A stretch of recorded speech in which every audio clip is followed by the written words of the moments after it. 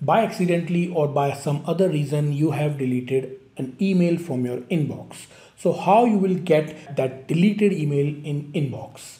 So currently I am on my Outlook Classic. First I select an email and intentionally delete that email. So what happened? That email is removed from my inbox and that email is available in my deleted folder. Now what I have to do to get this back, I simply select the email, click right mouse button and go to the move section. Here I will select inbox and my deleted email will be get back to my inbox. Rather you will see there are multiple inboxes here. So you have to select your specific inbox in which you want that email to be landed. So that's a simple solution. But in case if you have deleted that email from your deleted folder as well. See, I just click on this delete this item. So what happened? This will be permanently deleted. Continue. So I hit yes. Now what happened? My email is also removed from my deleted folder as well. So what you have to do is to simply check out this option, recover items recently removed from this folder. Simply click on it and you will get all your deleted emails in this folder. So what you have to do is to find out that email. My email is on the bottom, which is I just removed that email. Simply select it. Select this option, which is already selected in my case, restore selected items. Hit OK.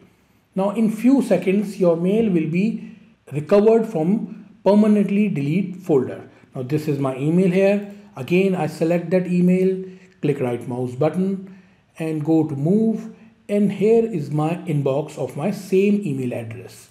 Click to my inbox and you will see the email is recovered from your deleted folder in Outlook Classic. Now, in case if you are using new Outlook, which is recently introduced and the interface is entirely similar to Outlook on the web, so I will show you in this case also, I select my email address. Now I simply select this email. I remove this email or delete this email.